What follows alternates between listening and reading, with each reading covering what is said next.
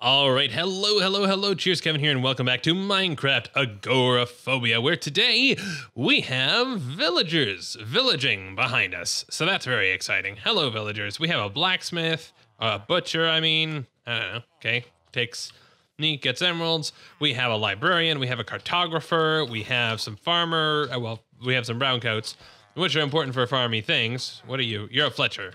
And a fisherman and a nitwit that does absolutely nothing. So, uh, lots of very exciting things. The one thing that we don't have just yet is a priest, and we need a priest to get Eyes of Ender um, which we need in order to get to the nether because we want to send a drone in there but if we if we send a drone in there without a, a chunk loader update uh, upgrade uh, well the nether won't be loaded and so the drone won't be able to do anything but uh, with the chunk loader upgrade it keeps the chunk that it's in loaded even when a player is not there and that's what we need. Um, today, uh, we're going to do some odd jobs, kind of continue on our current existing projects. And by the way, that uh, that village has already started to populate itself really darn quickly. I just had to throw up a lot of lot of doors, um, perhaps too many doors, some may say. Um, I don't know. We'll see how it goes. Also, may need to figure out a good system for disposing of villagers um, at uh some point in time, especially if we end up uh, kind of hitting the the cap of uh, available villagers and don't uh, get a priest. Uh, but we'll cross that bridge when we come to it. Um, real quick, let's tackle this thing because we never actually programmed this. Um, this thing just needs to fire a redstone pulse out there every so often uh, to harvest some sugarcane, which is, is otherwise fully automatic. Um, we could do this with an observer or with a long redstone clock, but long redstone clocks take up space, and observers we don't have access to because we need nether quartz. Um, so meanwhile, I've just been sort of flicking that uh, whenever we come by, but nicer would be to just have that do it. So let's jump into the code and write a very fast, simple EEPROM to do that one. Okay, so I'm going to create a um, another EEPROM. We're going to call this one sugarcane.lua. And let's open this up. And I'm also going to open up uh, the water.lua because we're going to do basically the same thing. All we're doing is occasionally emitting a redstone pulse. The only difference is that in our version, we don't have to care about a modem at all. Um, let's see. Uh, so we don't care about a port. Um, this is using, yeah, okay, this the sleep command is, is valid. We don't need to open a port. We don't need to do anything like that. We don't need to pull any events. All we need to do is set the redstone. Um, actually, redstone needs to be set to 15, not 16. I mean, it doesn't particularly matter, um, but that should be fine. The only thing we're changing is uh, the amount of time that we're going to sleep um, at, between firing redstone, ticks. Um, we're going to sleep for 18 uh, minutes, which is apparently the average amount of time that sugarcane takes to grow a tick, but there's a lot of variance. Um, I don't know, that's that's fine. We'll just go with 18. This doesn't need to be perfect. Um, it just needs to be good. Um, and then we're also not going to fire up. We're going to fire um, south. Oops. Uh, so let's replace up with south, and let's uh, change that value here to three. So yeah, here's here's our simple program. Set the output southbound with our redstone to uh, 15, then set the output to zero, and then wait 18 minutes, and then do the whole thing again. That's that. This is your life now. Okay, so I'm gonna wget sugarcane.lua, um, and then flash sugarcane.lua onto an EEPROM. Yes, and sugarcane. I'm just typing it because why not? And there we go. I can now remove the EEPROM and it has the name sugarcane. I'm gonna put the Lua BIOS back in there, and we can make our way back up. Um, yeah, one thing that I would like to do, and probably will do in an episode sometime soon, is write a small utility that will let us uh, commit changes to files in our Git repository or our GitHub repository, I should say, um, from within the game and vice versa, and just make it easy to pull uh, the repository up and down uh, because that, that's getting a little tiresome. Um, so the only way that you can uh, change the EEPROM in these things, um, it's the same as a drone, uh, just without the movement. Um, you get this. There we go. Okay, and yeah, I don't. I guess I crafted it without a micro, without a, an EEPROM before. Um, plop that there. There we go. Look at that. It's on, and it did its first job admirably. It fired those off, and of course, I happened to have flipped it earlier, so that didn't do anything. But now, 18 minutes later, it should do it again. And if we discover that we don't end up with more than what's currently in here over time, then we can revisit it. But uh, shy of that, I think we're good. Let, let me just toss, um, yeah, let me toss a torch in here and then we can just even block this up, right? Because no need to have access anymore. And boop. Nope. okay. Basic. This is why I have to automate everything, is because even basic block placement is beyond my beyond my skill level. Okay. So that's that done. Um, of course, our resource generation, these automatic farms will eventually want to consolidate and move into some sort of nice, compact, easy place to do all that. But whatever. Um, let's go down um, into the depths here and see. Uh, so yeah, I haven't been manually farming trees because I haven't been shy for wood on stuff. Um, although at some point it probably does behoove us to uh, take a either a uh, well, actually probably a robot, probably a robot with a crafting upgrade, uh, because then the robot could build um, an axe. Although we should check actually if we even need an axe um, to fell trees, because it, it wasn't able to punch the robot uh, was not a, refused to punch cobblestone, even though a player can do that um, over an extended period of time. Um, but who knows? Uh, uh, road, road, road, blah, road. I want to say roan because I'm trying to say robot and drone at the same time. A robot or drone may be perfectly happy to punch trees. I don't know. Um, if that's the case, then we don't have to worry about it. Oh, by the way, over here, yeah, this is what we need for the uh, chunk loader update. We need a piece of glass, two uh, gold, some tier three microchips. This needs to be an eye of ender and not merely an ender pearl. Um, and then, yeah, some obsidian and chip. Um, I do have uh, the drone case tier two because having discovered that we don't need um, the emeralds and only need the the diamond chips to create the uh, was the tier three component bus or whatever it was that was necessary. Um, yeah, so I've got all the parts in here ready to go. I put the stalker chip in there. I don't know why. Actually, there's no reason to have that in there, but whatever. Um, once we throw this in here, we'll see how the complexity is looking. If we can throw a uh, a redstone card in there or something, or a wireless card, I don't know. We can throw something in there if it helps, but uh, there's not really anything we have to throw in here. All that this needs to do is go into a nether portal, try and move around and figure out basically the orientation of the nether portal because that's apparently random. Um, and then, so basically, find its way out of the nether portal, build a wall around the nether portal, and then go back in. How hard could that be, right? I don't know. Apparently, yeah, we'll we'll have to see. I think we'll probably test that one, test that scripting creative. Um, and we'll go ahead and clear that off. Um, that does leave now um, more of our inventory system to work on. So this uh, now does work because we managed to fix the uh, the small little bug in the last episode, which was great. Uh, I even forget what that was. Uh, but uh, before we do that, uh, I want to dive into the basement, the the the the area which shall not be named, the the slaughterhouse. Okay, clearly we're we're doing some breeding, so that's good. Um, is our drone still alive? The drone is still alive. And if we look here, okay, so plenty of seeds. Um, curious what happens. Oh yeah, never mind. We already have yeah, we already have this figured out. If any seeds get into here, then the robot's disposing of them every five minutes or whatever. Anyway, um, cool. So clearly our farm is not up to the task of uh, keeping up with the robot's demand for wheat, but that's okay. We're still producing plenty of sheep, um, and so I'm I'm I'm happy with how this is going and I, I mean, dangerous words to say, but I'm I'm happy. I, I think we're ready to kind of just completely sign off of this project and call it done. Uh, say that our, our power needs are pretty much no longer a concern. I mean, that'd be great news, certainly. Uh, but with that, that does mean that our storage system is the main concern um, that we want to work on. So, all that we've done thus far, if I pull up uh, Stalker.lua, we have three commands that we want that we decided initially we wanted to support. We wanted to be able to check the elements in a chest, um, and then we want to. Oh, yeah, that's what it was. Is that we our movement command was not precise enough, and uh, actually, so we should say navigate to. Yeah, we should just put the sleep command in navigate to. That would make sense to me at least. Um, uh, where's navigate to? Well, you know, we've got to put it. We've got to enter it in in the in the real world anyway. So uh, we'll do that. Uh, but we have these two other commands that we want to be able to do store an item and then fetch an item. And I think that the function signature is going to change here because I don't necessarily want to even say, hey, I want you to store cobblestone, three of them in this location, in this slot in that location, and then who to report to. I think I just want to say, um, I want you to grab some number of items from our pickup chest. And I'm not going to, and I'm, I'm going to tell you which uh, slot in the pickup chest and how many from that in the pickup chest. But that's it. I don't need to tell you the item. It's my, it's me as the as the overseer. That's it's my job to know what the items are and what you're putting where.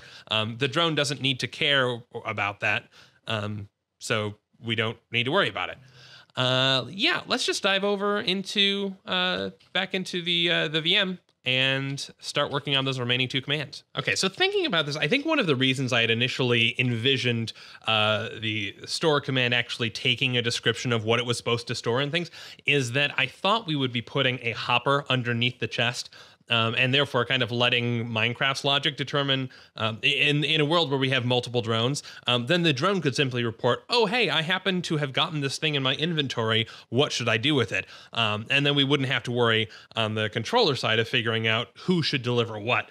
Um, but I think that's dumb anyway. And layout wise, I didn't like having a, a hopper there anyway. So, uh, yeah, we're going to change this signature. And thankfully, all we have to do is just change it here, and then we just have to make sure that when we test, we call it that way. Um, so store, um, instead of saying a stack, we're gonna call, we're gonna say, bum, bum, bum, bum, uh, slot and uh, size, and then location. Oh, right, it can't be slot and slot. Um, call it input slot, and, and we'll call this one um, storage slot. Uh, yeah, I like that. Um, and I guess then just for parity, let's say fetch, which the job is to go to a location. Oh man, fetch is. Hmm. Do we? Do we? Well, fetch. So there's the output chest as well. Do we actually care what we're putting? Well, I actually I think we do. Well, certainly fetch. We may not want to fetch the entire stack of whatevers. Um, so actually, um, so yeah, fetch is going to say, okay, so from this location, grab uh, from this storage slot, uh, from this size. And yeah, I think we'll we'll leave that as it is for now with the understanding that if we do eventually care about which slot in the output chest we want to put things in, then we'll have to worry about it. Eventually, we'll have to worry about things like crafting as well. Um, but we can definitely cross that bridge uh, when we come to it. Um, mm, I'm, uh, yeah, premature optimization is the enemy of, of things. My guess is that probably what we'll eventually do is have some additional flag that we pass to these, um, which says, hey, uh, either uh, deliver it to the output chest or deliver it to some intermediary chest where we have crafting bots doing fancy stuff and the orchestration for all of this is going to be fun. Um, but okay, now one other thing that we need to just be sure to keep in mind when we're looking at all of this is that I believe we have a limit of eight possible function arguments um, that can be passed over um, with the modem command. So not uh, not something we're running into. And to be honest, I don't like structuring things this way anyway. But because we're dealing with primitives and don't want to deal with serialization, I'm I'm okay with it for now. Um, but if we ever do have something that ends up being crazy complex like that, then we'll have to worry about it. Okay, so, what is store going to do? Um, well, we know that already we are directly below the chest that we're going to take stuff from. So uh, we'll say in uh, suck from slot.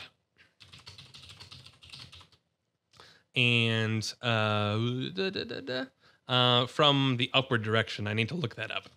Right, it's one, which because we should have known from water. All right, um, inventory from slot, and then uh, I think let's look at the API for this. Right. Okay. So suck from slot, we have to give it a side and a slot number, and then yeah, optionally a count number. Okay. So that's what we want to do. We're going to suck from slot, and uh, the slot is going to be input slot, and then size.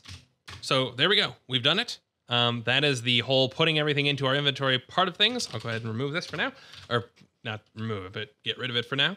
Um, to be honest, I think this is going to be easier than the rest of these. Um, the only thing that we're going to discover is, hey, some of this is going to be very repetitive. So, for example, uh, column, row, shelf is going to be the exact same parsing out of things. Uh, so that's a point where we say, okay, time to write a function.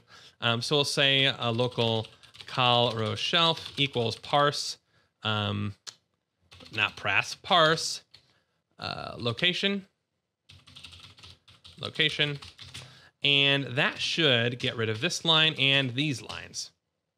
Although we'll keep them, we'll keep them together for now. Um, they're a logical concept. Uh, let's go ahead and just add those down here. I mean, it doesn't particularly matter where we put them. Uh, parse location, uh, location, and if we paste these, all right, so local that, and so we will return to number call, to number row, to number shelf.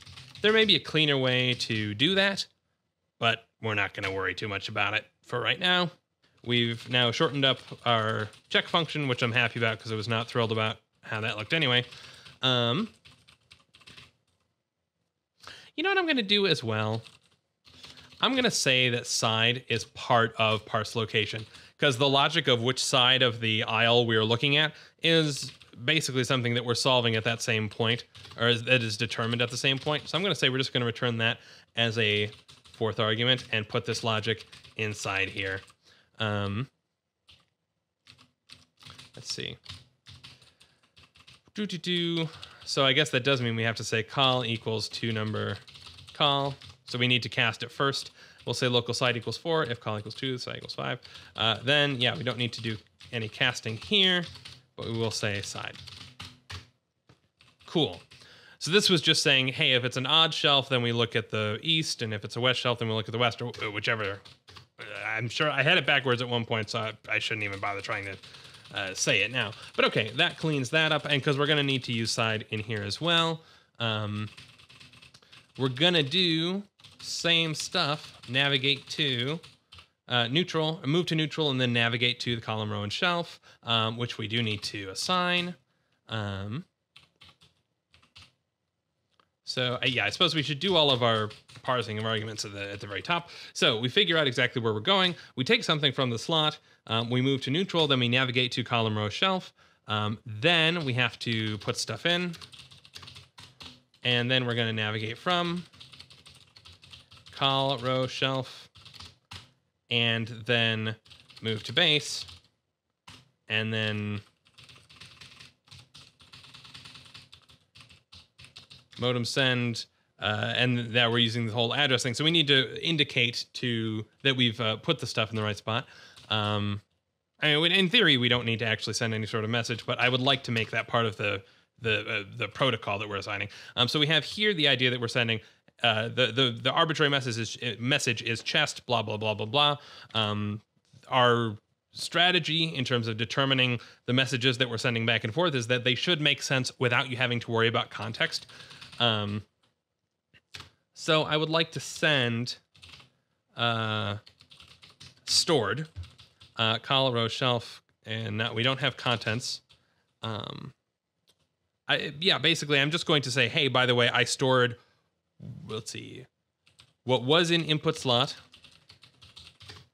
Uh, this many of them into column row shelf, and that's that. That describes what we've done without us having to worry too much. Um, and again, we're dealing with this whole the address and the port are things that are done up here and could stand to be reused as well. Um, let's do that. Say local addr and port equals parse um, parse remote, and we'll just uh, pass that remote. And one other thing I'm going to do is I'm going to cast the uh, the port to a number. Um, so let's let's add a parse remote function parse remote remote and paste these in here.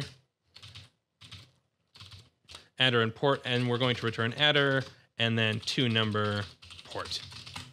Okay. So then uh, add a port equals parse remote. And then where we have the two number cast down here, we can just say port. Uh, there we go. Uh, yeah, now this check function doesn't look quite as monstrous. The only thing that's a pain in the butt uh, that's that's obnoxious here is the crafting of uh, the message that we're sending back and forth. Um, and actually, I don't need to. I added this elf condition. Uh, the elf condition. I added an elf condition. I added an else condition um, when I was debugging to try and figure out why we weren't getting items. When the answer was just, "Hey, we weren't in the the right spot." Um, we don't need extra content there. Okay.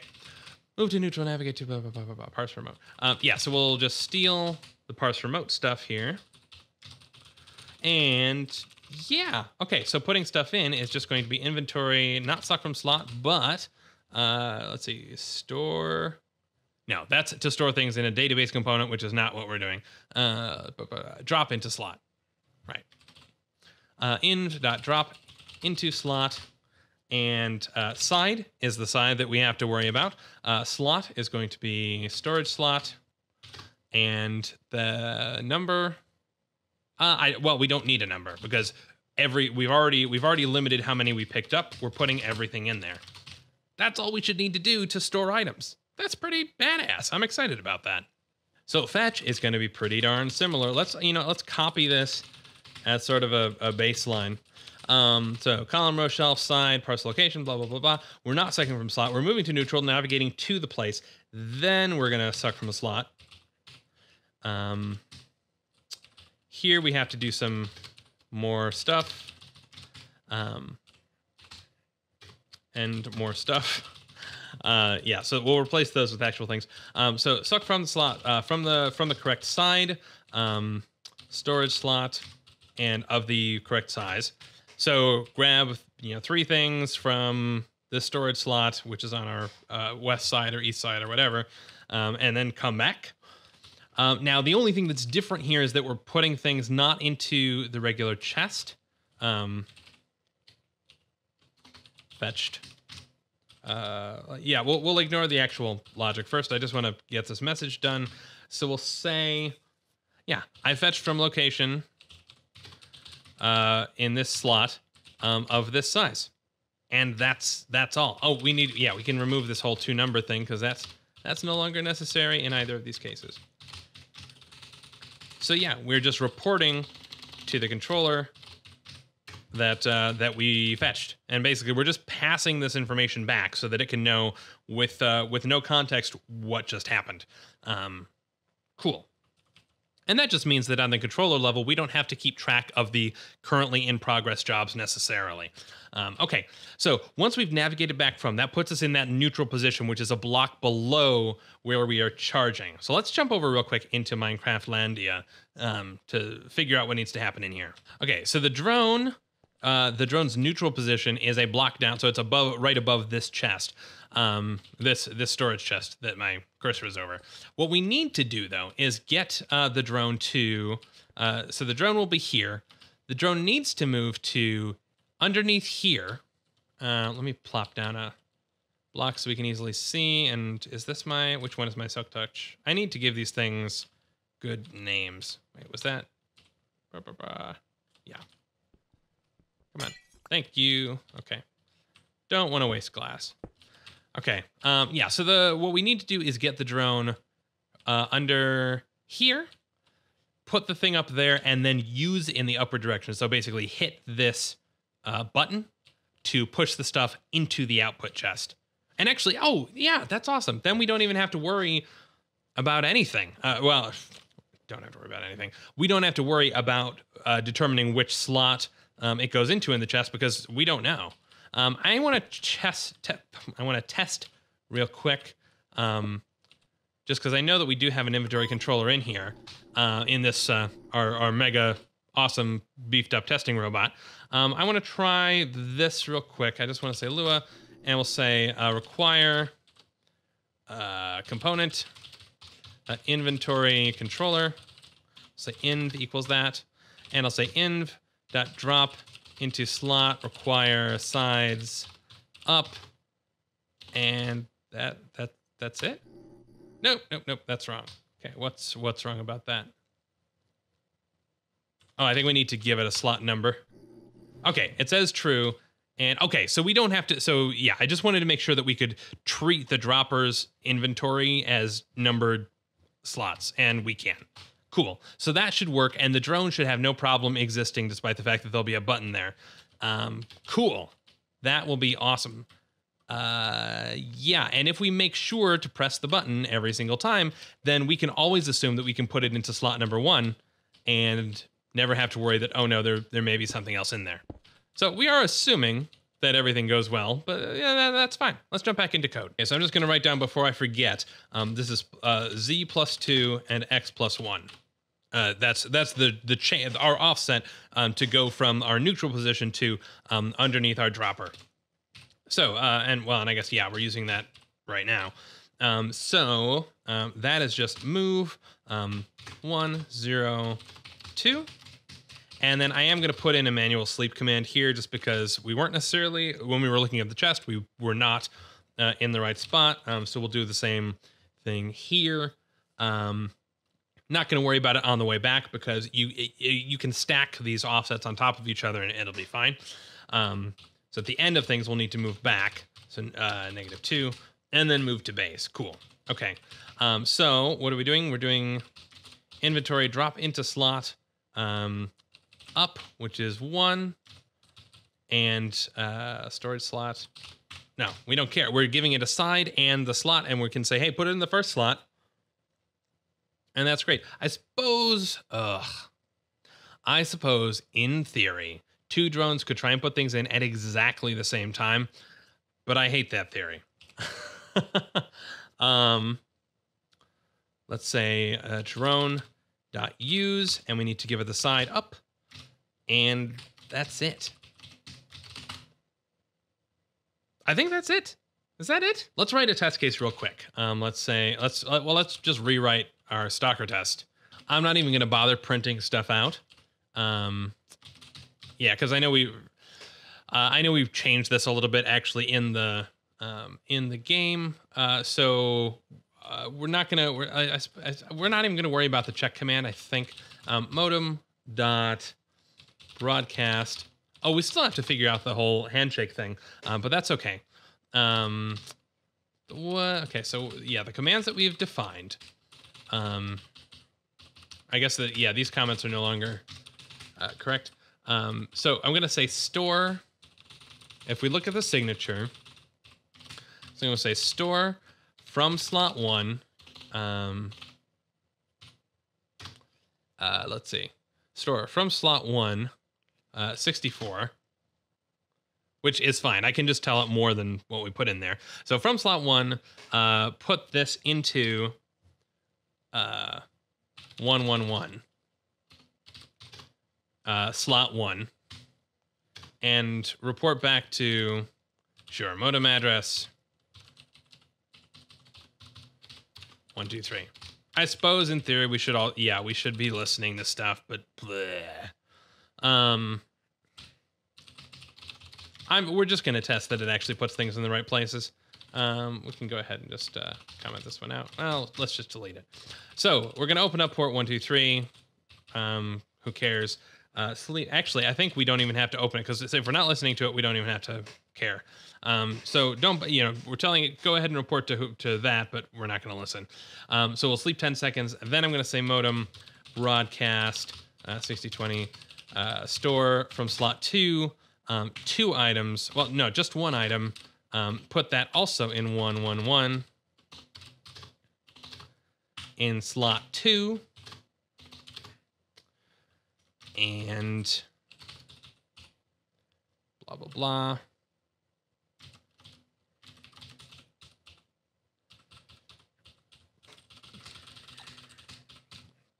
And then we will fetch. Uh, let's look at the signature for fetch. So fetch from uh, 111 uh, slot two, uh, no, slot one, give me 12 of those items. So yeah. Uh, okay. So what we're saying is first, uh, go ahead and store 64 items of whatever's in the first slot in our input chest. Then go ahead and store two of whatever's, uh, sorry, one item of whatever's in the second slot in 111. And then fetch 12 of what's in the first slot in 111. So we should get 12 back of whatever the six, whatever we put 64 in was. If that makes sense. Okay, that seems like a fair enough test. We should then be able to check that um, end conditions Uh, well, let's yeah, let's let's let's actually write them out. Um, so uh, start conditions, um, input chest. Yeah. Um, is going to have 64 cobblestone and uh, 64 dirt. And end conditions uh, should be that chest, uh, input chest, should have uh, nothing, uh, empty, and then let's see, it only took one, so it should have 63 dirt left. That makes sense.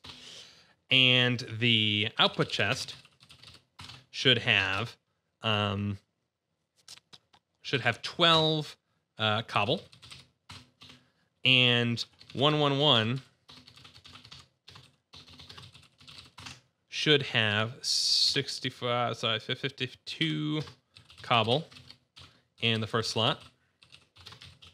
And uh, one dirt in the second slot. Okay. Let's test this. So making sure our starting conditions are valid. So 64 cobble and 64 dirt. And nothing in slot 111 um, i'm not going to check that i know that to be the case um, let's edit um, uh, what was it? Stalker test.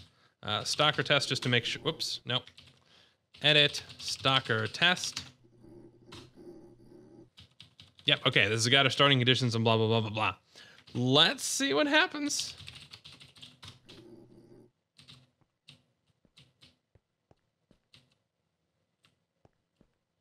Okay. Uh, well, so huh, I tended to call a nil value sleep. Yeah, because we forgot to put sleep in our test. okay. We can change this to be os.sleep. Ah, okay.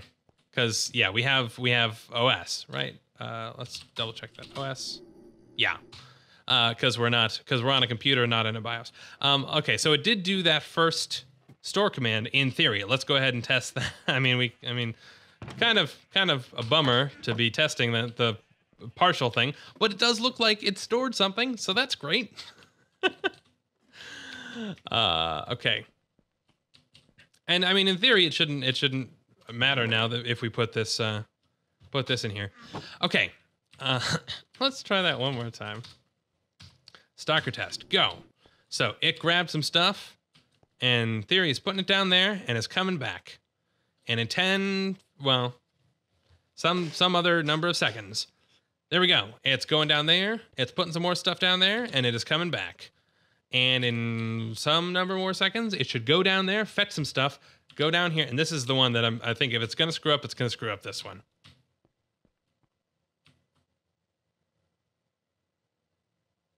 I didn't hear any sort of click. Oh, you know what? I didn't put a button there. I didn't put the button back. Derp. Okay.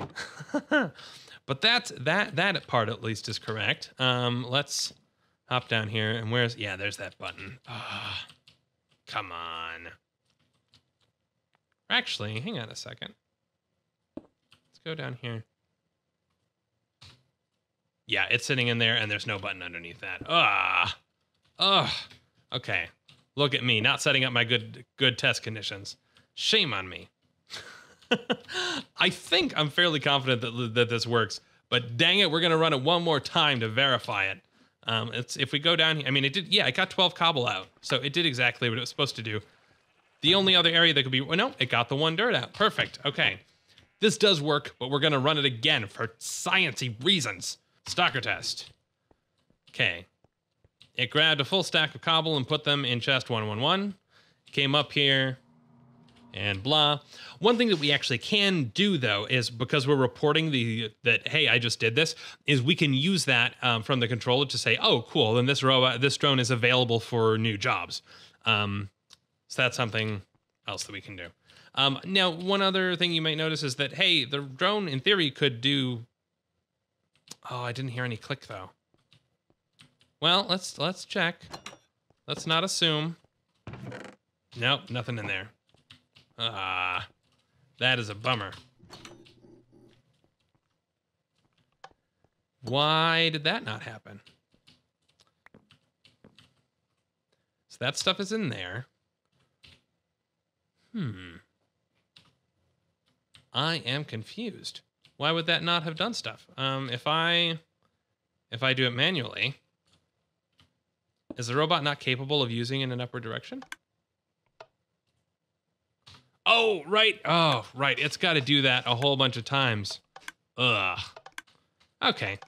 Well, you know what? If I can be honest, I'm not thrilled about the idea of the drone pressing the button anyway, and I'm not particularly keen on debugging it. I think maybe one thing that we could do, um, hmm, maybe one thing that I'd actually like to do would be to just set a redstone pulse um, from the computer itself uh, multiple times to get uh, to get to to get the stuff up into the chest.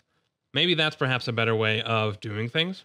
I don't know. I think I will I will have to do some thinking on that. But I think what we can say is that the drone script itself uh, passed with flying colors. So uh, that is all that we have time for today. Um, we'll definitely have to give a lot of thought as to how we want our controller program to work, but we now have the ability to say, hey, um, some arbitrary worker, please go and uh, throw stuff in a chest uh, and, or get stuff back and, or tell me what's in a chest. And with that logic, we can get cool stuff back. We are still using broad broadcast. We'll have to figure out handshake logic, but that'll take place in future episodes. So until then, this has been Cheers Kevin, and I hope you are having a great day. And I'll see you next time. Cheers.